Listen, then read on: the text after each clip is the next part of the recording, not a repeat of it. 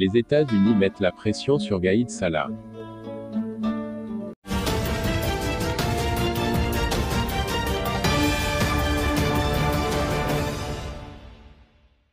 L'homme fort de l'Algérie, le chef d'état-major de la NP Ahmed Gaïd Salah subit-il des pressions de la part des États-Unis d'Amérique?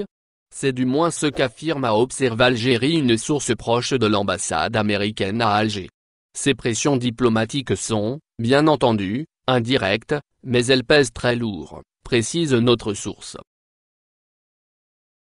À en croire notre source qui a requis l'anonymat, l'administration de Donald Trump aurait reçu des rapports qualifiant Ahmed Salah de militaire déconnecté de la réalité, dont le passage en force avec des élections présidentielles pourrait aggraver la crise politique et sociale de l'Algérie. Selon notre interlocuteur, si les États-Unis ont cru à l'idée d'une élection présidentielle dans les plus brefs délais, il serait en divergence totale avec la façon de faire, adoptée par le chef d'état-major. Les candidats proposés donnent l'impression que le système refuse le changement.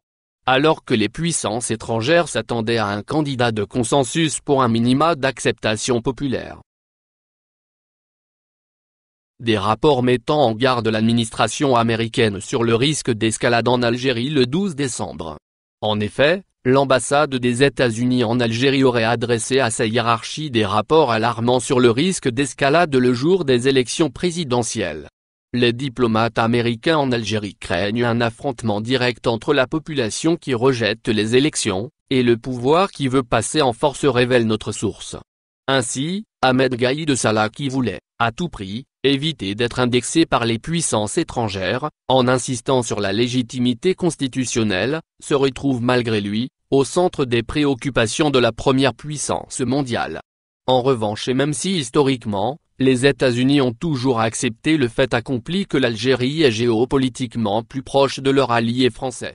L'administration américaine accorde beaucoup d'attention à la stabilité de la région maghrébine et du Sahel. Celle-ci représente des enjeux énergétiques et miniers considérables.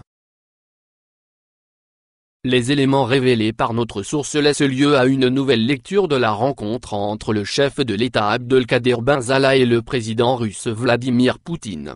Elle serait une réponse au mécontentement exprimé par les Américains. Une tentative pour le pouvoir algérien de remettre de l'équilibre en se tournant vers la Russie.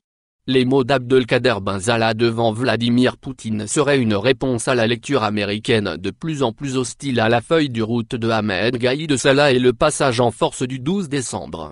Cependant, la chaîne de télévision russe, Russia Today, connue comme porte-voix de la diplomatie russe, a adopté une ligne éditoriale pro-Irak.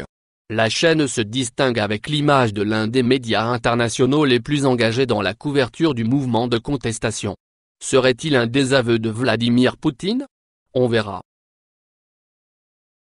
Abonnez-vous à notre chaîne. Cliquez sur la cloche pour rester au courant de l'actualité algérienne.